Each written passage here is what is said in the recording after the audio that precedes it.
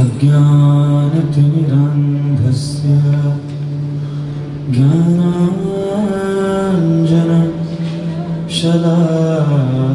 ज्ञानाञ्जनशलाकया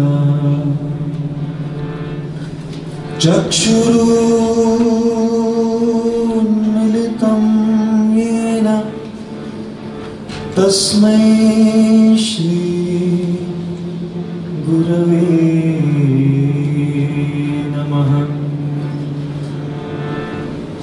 श्रीचैतन्यमनोभीष्टं स्थापितं येन भूतले। स्वयं रूपकदा मह्यं ददाति स्वपदान्तिकम् मूकं करोति वाचालं पङ्गुं लङ्घयते गिरिं। यत्कृपातमहं वंदे। श्रीगुरु दीनतारणम् श्रीचैतन्य ईश्वरम् परमानन्दमाधवम् नमो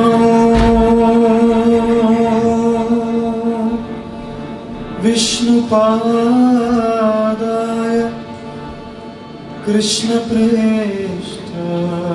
भूतले श्रीमते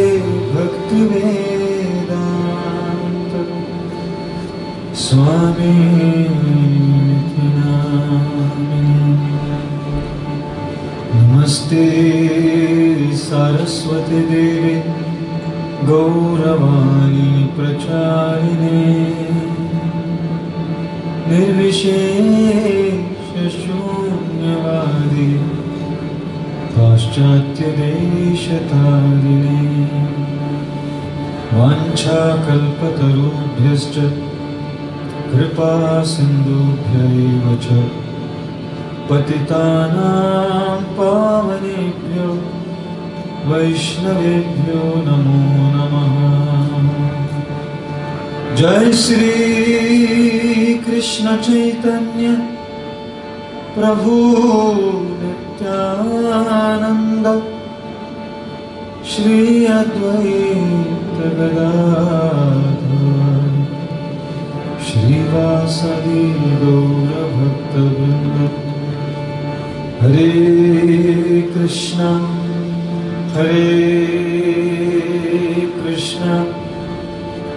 कृष्ण कृष्ण हरे हरे। हरे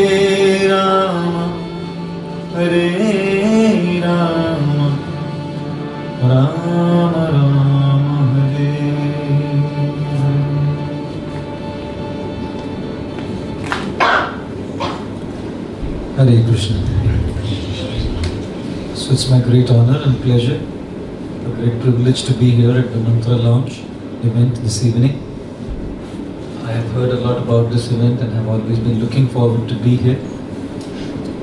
Thanks to the organizers for having invited me over, and my sincerest gratitude and thanks to all of you for taking your time out to be here this evening. Two years back, I was uh, traveling to Florence from Vienna. And I was meant to give a talk in Florence at, Villa, at our community, which is called Villa Vrindavan. As I was sitting at the international terminal, the international airport in Vienna, they told me, the announcement was done, that the flight was three hours delayed. Obviously, I had to wait. My talk was in the evening. I thought I would still manage getting there in the evening. They announced a further delay of six hours, which was a total delay of nine hours. Which basically meant I would not be able to go to Florence to give my evening talk. I thought I should call the hosts, the organizers, and tell them that I'm delayed and someone should cover me up for my talk. So I pulled my phone out. It was a smartphone, an iPhone, incredibly smart. and you can imagine smartphones today with all the coolest apps on there. I was once on a domestic flight in Mumbai, going somewhere, and I saw the guy sitting in front of me was doing this. So I couldn't figure out under the sun what he was doing. So I tried to kind of sneak in, which I shouldn't have done actually, given the space. But I was so curious and intrigued. I decided to just sneak in a little bit to figure out what he was doing. And as I just kind of went ahead to see what he was doing, I heard the sound Om Namah Shivaya, Om Namah Shivaya, Om Namah Shivaya, Om Namah Shivaya, Om Namah Shivaya. What's the connection? He's doing this and saying Om Namah Shivaya. So I moved on a little further to check what was on, and I saw he had a phone, an iPhone, and he had beads on his phone. I'll show you, I downloaded that app after. And this is what he was doing. Om Namah Shivaya. Om Namah Shivaya. Om Namah Shivaya. Om Namah Shivaya. Om Namah Shivaya. Om Namah Shivaya. Can you imagine that? And I was think I I did gather the courage to speak to this gentleman. I asked him, Sir, why couldn't you just get a set of beads? He said, That's not cool. And then I was thinking, even for a spiritual thing today, people want it to be very cool and trendy, you know. Here I was sitting at the Vienna International Airport, pulling out my smartphone with the smartest apps. And I truly have some real smart apps on my phone. with the smartest apps. And as I pulled it out, guess what? No reception. I meant to call this gentleman in Florence to tell him that my flight is delayed by over nine hours. And I can't make it for the evening talk. And I have the smartest phone with the coolest apps. And no reception. In the bygone ages, the three biggest fears in the minds of people was number one, the fear of flying. That's why probably the airport is called a terminal. Number two, it was fear of public speaking. And number three, it was fear of death. Today it's not that. The fear of this generation is battery draining out, reception, and Wi Fi connection. You go to someone's home, the guest says, Would you like some water, a drink? Sir, Wi Fi password. Who's in such a day and age? Here I'm sitting there, you know. Vienna International Airport struggling to get reception. And sometimes you'll find even, I thought it was only in my country, India. I see this in England.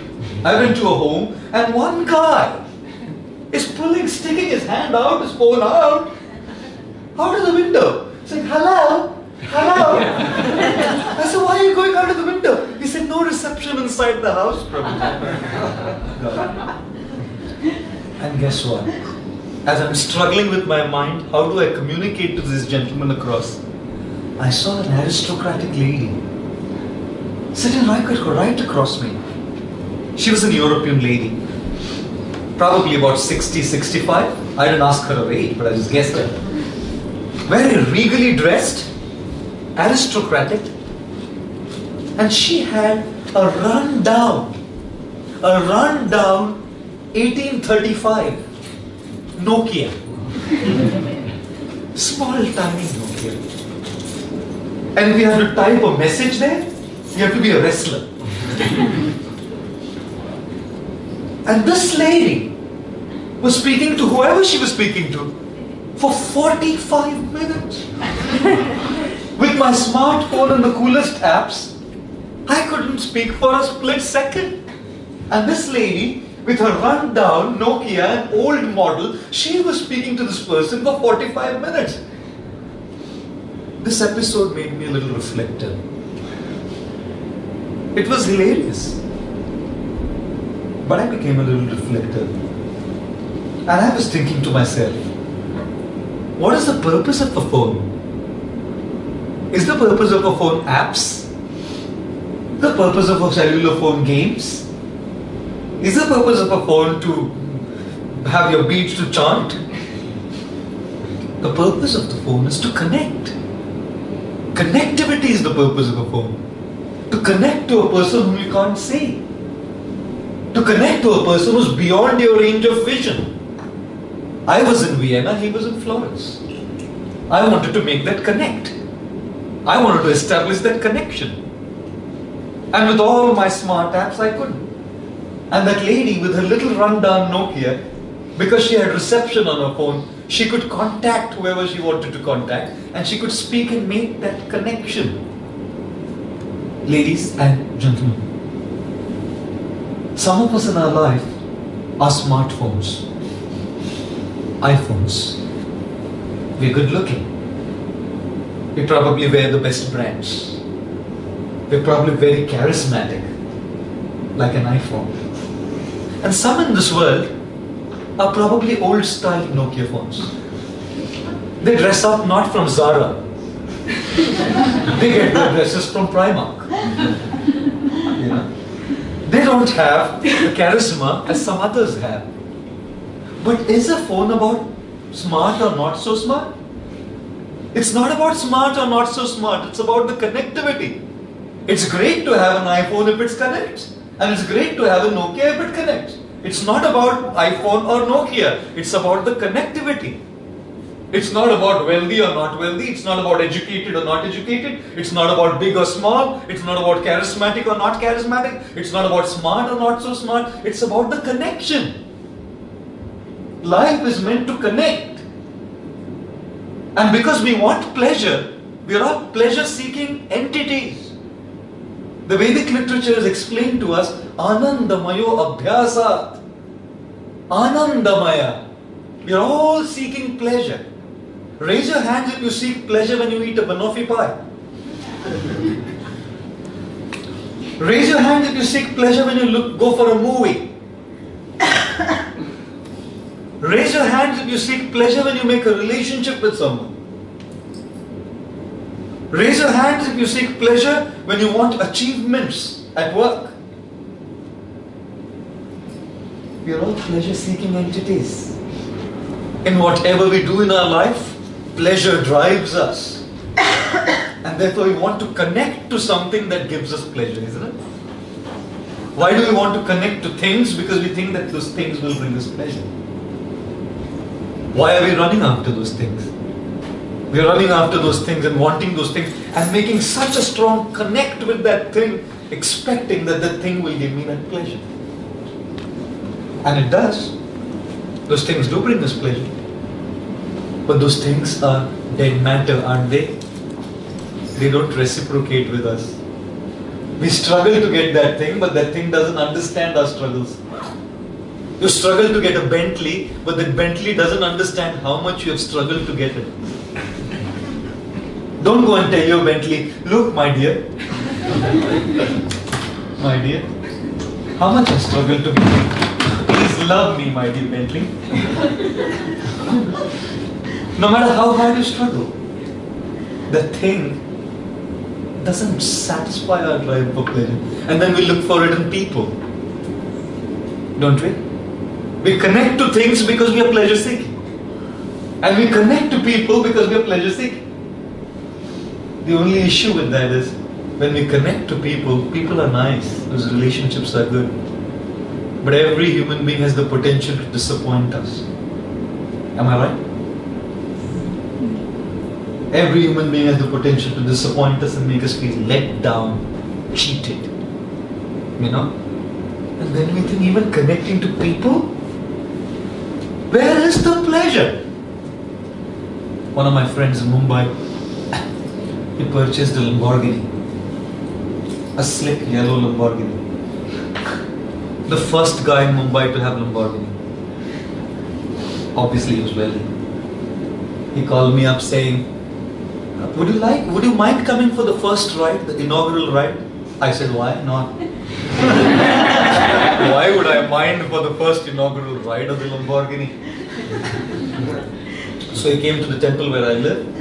He was in the driver's seat, I was in the passenger seat. He said, We will go. And he said, 15 minutes ride. I said, All right. Some courtesies, some pleasantries, good words exchanged. 15 minutes turned to 20, 25. And as we were at one traffic light, one guy, I was in the passenger seat, so the guy who was driving the other car was an old Suzuki or something. And he turned around and he saw me there. And monks are not meant to have cars like this. he thought it was my car. And he had that expression on his face. I saw it. He had this expression, even you? and I wanted to pull the windshield down and say, my brother. It's just the inaugural ride. you know? And then I was wondering what to do about it all. So then we anyways went ahead. And believe me, hand on my heart, after about 25 minutes, this man broke down on the steering wheel, crying like a baby.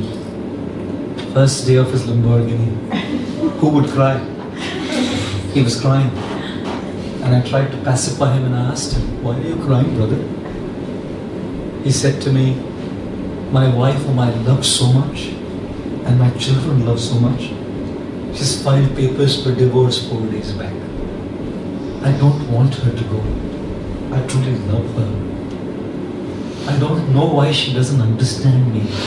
My children don't want her to go.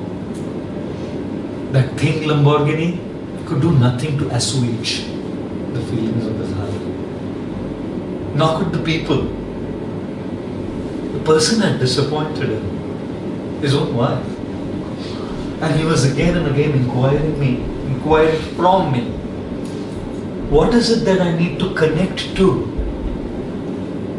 to satisfy my drive for pleasure? Anandamayo Abhyasat. And I told him one thing. There's only one source. Only one source.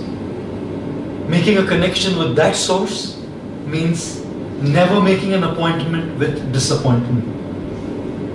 Otherwise, we're constantly making appointments with disappointments. And connecting to a divine source of pleasure, we all experience it. That divine connection is Kirtan. That divine connection is chanting. Immersing ourselves very deeply to make that connect. It's not about smart or not so smart. It's about the connectivity, it's about the reception. And the reception is all up to us as we participate in this mantra lounge. As we come together, like minded individuals, to immerse our consciousness, to immerse our minds, to immerse our hearts, to connect. To connect to a source of pleasure that is huge, that is unlimited, that is infinite, that's beyond our conceptions to fathom. We cannot figure out where it's coming from, but all of us have a first hand experience. No theory can explain what we feel when we connect to that source. And thus, that connection is Kirtan. And it's so nice to see so many of you wanting to immerse yourselves in Kirtan. And thus, the source of that pleasure in Sanskrit is called Rama. Rama comes from the word Ramana, one who gives pleasure to connect to that source, that personality from whom pleasure comes. Just as when your tap or your water faucet is connected to a lake, water flows through it. The faucet itself doesn't have water, but has the connect, and water flows in. So Kirtan is about making that connect. So that grace flows in, joy flows in. And when the joy and pleasure flows in, you feel satisfied. You don't no longer just depend on things. You what do you do with things? Use them. You get a great car, use it. What do you do with people? Love them. Don't depend. If you depend on the thing, the things will disappoint you. If you depend on people, people will disappoint you. Don't depend on things and people. Use things and love people. But for pleasure, depend on the source. That will never disappoint. That's the name Ram. And this evening we will chant the first mantra for this evening, which is a song of Lord Ram.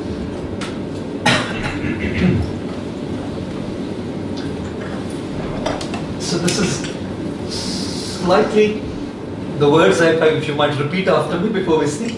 So we'll first sing Sri Ram, Sri Ram, and of course you sing Sri Ram, and then Ramachandra Raghuvira.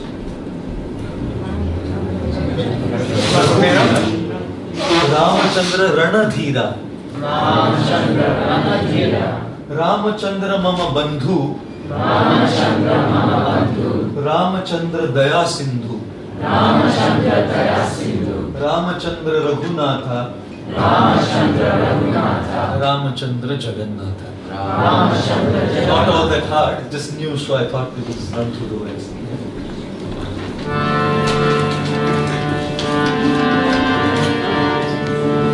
Krishna.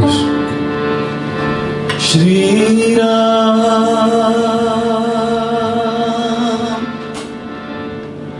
Shri Ram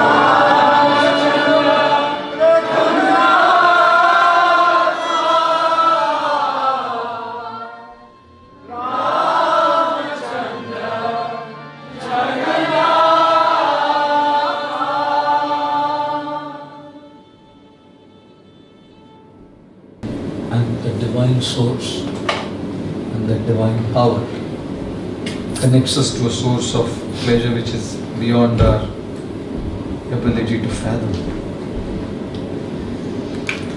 In the Patanjali's Yoga Sutras, Patanjali Muni explains that the two greatest needs of every living creature, particularly of a human being, is to love and to be loved. Nothing more fulfilling in life. There is nothing more meaningful to life. And there is nothing more that can uplift our consciousness in life than genuine, selfless love. We all want to have an object whom we can love. And all of us want to be an object of someone's love. Love is that essential element that the soul thirsts for. We can quench our thirst with water. Our physical thirst can very well be quenched with water. But what quenches the thirst of the heart? How do we quench the thirst of the heart? Do you drink Shloer? or go for a cheap Rubicon? Not to say that Rubicon is bad, I'm just saying. What do you use? Oh my god. Everyone's looking at me, sir, but we drink ruby Rubicon. How can you be calling it cheap here? It's just 50p. Probably less, I don't know. I thought it was just 50p. 49p. Thank you, sir. 49p. What can quench the heart of the this thirst of the heart? In Sanskrit, thirst is called Trishna. Trishna. And that Trishna is dealt with by Krishna. The thirst of the body can be dealt with by water. But the thirst of the heart, the thirst of the soul, cannot be dealt with by any physical things of this world. We're all thirsty. Thirsty for love. How many of you want to be accepted by others? Good. How many of you want to be accepted by others for who you are and not what they expect you to be? And how many of you have experience in life that people don't accept us for who we are? People only accept us when we comply with what they expect of us. that unconditional acceptance is all what we are looking for. We're all crying out, accept me. Listen to my yearnings. And I'm sure in many of our conversations we come across this thing where we say, why can't you just understand me? Have you ever said that to someone? Why can't you just understand me? You know? We're all longing for that acceptance. The problem is, people in this world don't accept us for who we are. In married relationships, even with married people, unconditional acceptance is so difficult. With parents and children, unconditional acceptance is so difficult.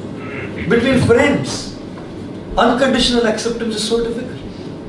People only accept us when we really comply with what they're expecting of us. I'm not saying everyone does that. But in the generic sense, sense we find that most people go by that. Only if our expectations are fulfilled, we accept people or we are accepted by people. Love is about unconditional acceptance. Love is about unconditional acceptance. You know? And such love unconditional acceptance fulfills the thirst of the heart. You know, you might be out there in England. I remember when I came to England for the first time, God, they told me it's summer. I came from India. And Indian summer is 38 degrees Celsius. I come from Mumbai, 36, 38 degrees Celsius. I came here thinking it's summer. This was my first visit to London. I didn't bring any warmth. and I got down from the plane. I was at London Heathrow, and I was freezing. It was five degrees Celsius in summer. and the guy who was meant to pick me up came only 45 minutes late. we were freezing then. Turned into an ice cream. and all I could do was not eat any ice cream, but I thought, ice cream. Come early, man. I'm screaming there. Goodness.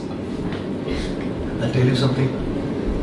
It's very easy to handle the cold winter, but not a cold heart. If you're freezing in the winter there, but have received the unconditional acceptance and the warmth of someone, people can live there, arms around each other, and feel the warmth. And you could be in a well heated room, a first class furnished mansion, well heated and comfortable, but with cold hearts where there's no connection and unconditional acceptance. And it's a torture to live in a place like that. People kill themselves. People hang themselves to death because of not being accepted in that sense. In the last six months, three men at Canary Wharfs, three men jumped down from JP Morgan. The building at JP Morgan in the last six months, three guys have jumped down to end their lives. You know what that means? It just means that I'm not accepted. It just means I don't have that warmth. Don't I have a person whom I can go and talk to? Is life so bad? Is everything the end of life? Just a little failure, just a little this and a little that? Is that the end of our life? Unconditional acceptance, love, warmth is the need of our hearts. And therefore, to have the company of those who have that kind of acceptance is the greatest treasure of life. It is indeed a treasure of life. To have people who accept us for who we are. Such an amazing feeling. When I came and became a monk, joined the temple and became a monk, I had to run away from home in the middle of the night. I'm from an Indian family. And an Indian family, everything such a pressure. Parents are so, you know, like, beta, and I'm the only one. the apple of the eye, as they it call. God. And in India, the exam pressure, everything's a pressure. Everything's a pressure. And you have to subscribe to that pressure. One guy was writing his exams, and a university student, and was walking by, and his friend sent him a text. Our results are going to be out today. So he sent a text back saying, I'm walking with my dad. And my dad anytime will pull out my phone to see what the text. So if I fail in one subject, just say good morning to you.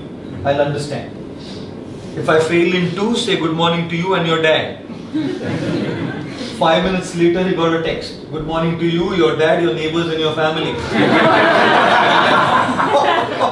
The subjects. God in Indian families, all that pressure is so much.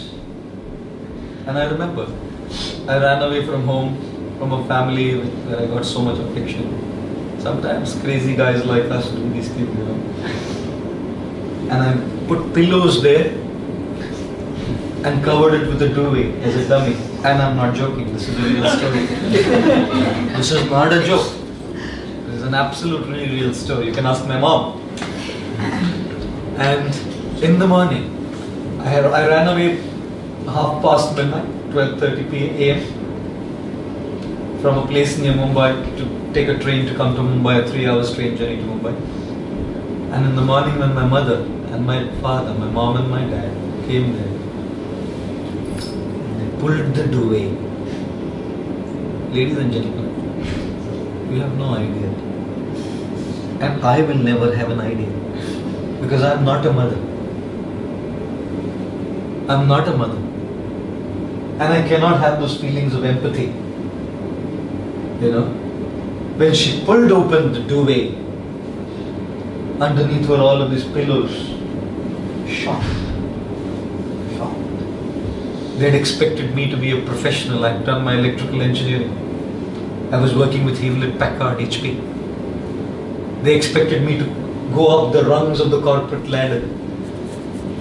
They expected me to get married, settle down. I came came from a nice Marwadi family, you know, and here I was, not complying to their expectations. They were frustrated. They were frustrated, sad. They felt let down. And you know what? Mother, mom, she accepted. After a while of crying, appealing, calling, she accepted. If that's what makes you happy, son, I'm okay. Put a stone on her heart and accept it. In my life, I have experienced unconditional acceptance. There's no conditions there. She just accepted me. And she took to the way of life that I live now. She's not a monk, of course. But she does all the spiritual practices that I do now. And I feel very fulfilled. I feel very fulfilled. I feel very satisfied in my heart. Because I was accepted based on no conditions. I felt loved. And I want to give love. The reason I came to this society was to share what I received unconditional love, unconditional acceptance. You can only give to people what you have. If you don't feel love, you can't bring love to others. If you don't feel hope, you can't bring hope to others. If you don't feel peace, you can't bring peace to others. If you don't feel joy, you can't bring joy to others. You can only give others what you have. And thus, how important it is for us to experience that love. And the problem is, people in this world don't always give it to us. That's the reason why we turn to God. For that Trishna, to satisfy that Trishna of the heart, we turn to Krishna, the all attractive one. Because he accepts us unconditionally. He doesn't say, You are from London, you are from India, Indians allowed, London's out. He doesn't say, Oh, only Londoners allowed, Mumbai one's out.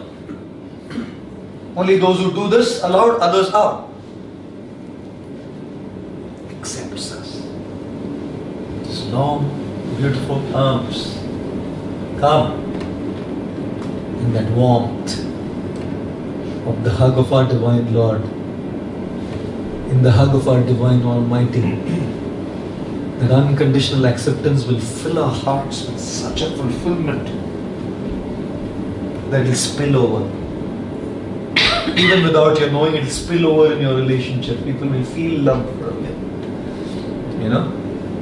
And therefore, Kirtan is about connecting to that Lord for unconditional acceptance. The Lord of Vrindavan, that land of love where unconditional acceptance is possible. Therefore, the second mantra that I want to sing this evening is Jai Jai Krishna, Jai Vrindavan.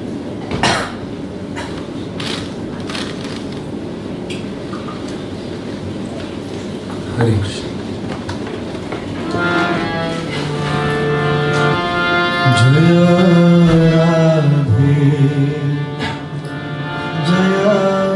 Krishna.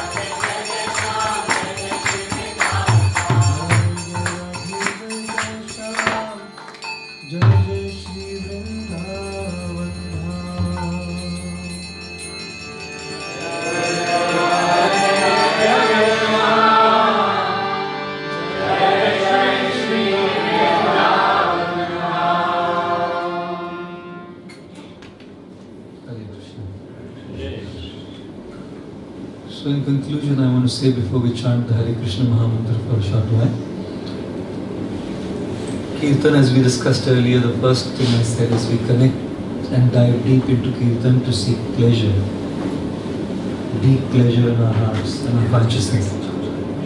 We dive deep into the ocean of Kirtan because we seek acceptance and love to be fulfilled by the love, unconditional acceptance of God. And the third reflection in trying to dive deep into Kirtan is this. The other day, my friend is sitting right here, Ronan Patel. His spiritual name Ras Vilas Das right here, just behind Bangalore, just right here. And he's a very kind friend of mine, and he called me to fly in his plane. He has a small Cessna, and he asked me if I could go flying with him. It was a privilege, of course, to go in a short plane on a short ride. What a pleasure. Just him and me and two other friends, just four of us. What an experience, actually. I was once flying from Moscow to Kiev in Ukraine, Aeroflot Airlines, and the stewardess came up to me and said, We guarantee takeoff. I said, Madam, landing? No, you pray. So Rasmi Lastu, as we were flying, I was thinking in that flight, you know, when you have this massive high-rise buildings sometimes, those high-rise buildings are very overwhelming in size. But as you go above the plane, uh, go above the building in a plane, the building still exists. But for us, it becomes smaller and smaller and smaller. And at a certain point of time, that building is non existent to us.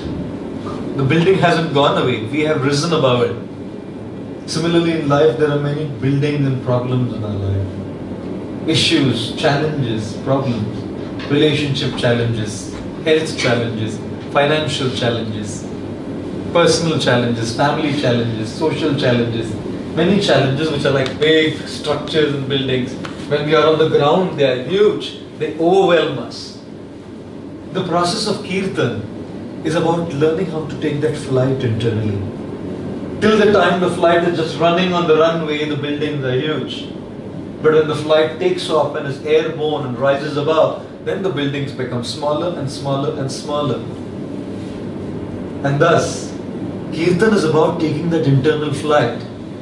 If we don't take off, everything around us is going to seem very big to us.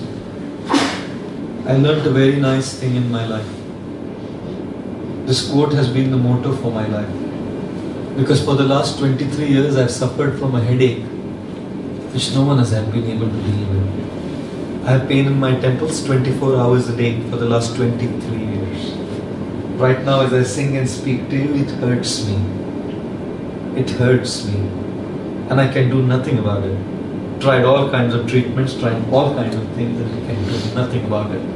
Ladies and gentlemen, we all have our things to deal with, which are just beyond us, and we can do nothing about it. It's just there. It is just there. I learned from my spiritual teacher who also accepted me unconditionally. And all the devotees and my friends in this circle that I have to take a flight internally. I have to rise above it when I can do nothing about it. Because as I rise above it, that's the only way I can start looking at these things as small and tiny. Otherwise, it just overwhelms me. Therefore, this one line in my life has been a great inspiration. Pain is inevitable, suffering is optional. What comes is inevitable, you can do nothing about it. But whether to suffer from it or not is an absolute choice that we can exercise. The process of kirtan is to dive deep into the names of Krishna, the holy names of Krishna, and get the strength to face those challenges which are beyond us. Those big buildings, massive buildings, take a flight. Fly, fly, fly. We guarantee take off and hope we never land. In a literal flight, we want to land, but an internal flight, it would be nice if we are there because from there, then we can see, oh yeah, fine, I can deal with these things in life. And the third aspect of Kirtan is it gives us the strength and the ability to face what we go through in our lives. So let's dive deep to experience pleasure.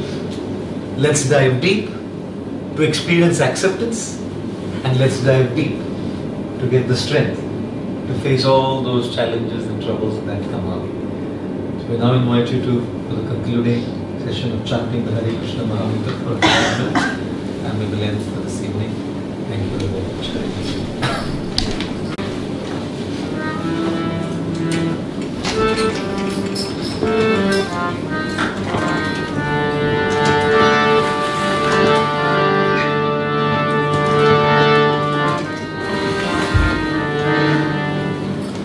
Shri Krishna Chaitanya Prabhu Nityanand Shri Advaita Gadadhar श्रीवासदि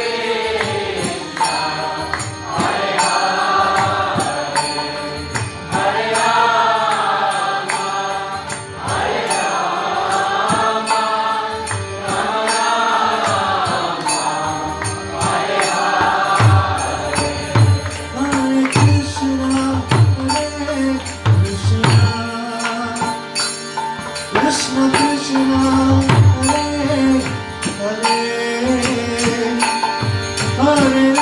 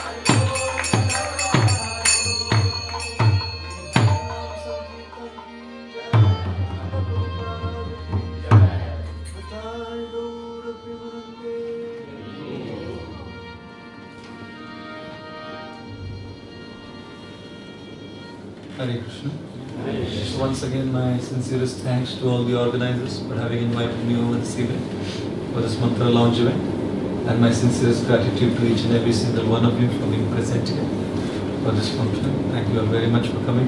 Thanks to all the instrument players, the sound system, the projector operator, the video shooters, and everyone else. Thank you very much.